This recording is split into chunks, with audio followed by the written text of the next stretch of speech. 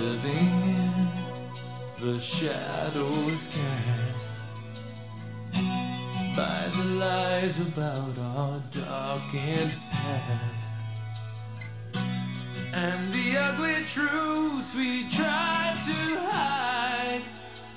Careful not to ever hurt.